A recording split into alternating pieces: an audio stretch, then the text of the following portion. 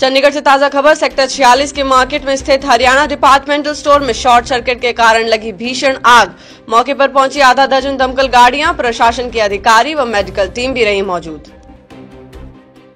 Delhi NCR में बदला मौसम का मिजाज, कई इलाकों में तेज बारिश। भारत में 10 लाख के पार कोरोना के मामले, अब तक छह दशमलव तीन पाँच लाख हुए।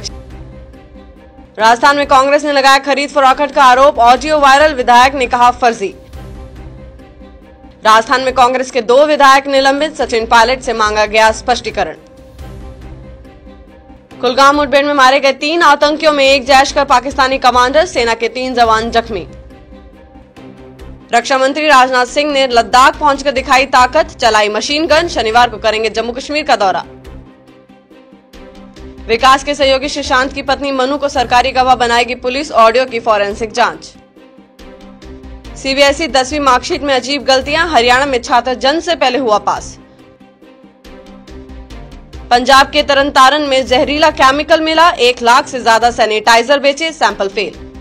ताज़ा अपडेट्स व बड़ी खबरों के लिए सब्सक्राइब करें अर्थ प्रकाश टीवी और बेल आइकन दबाना न भूलें।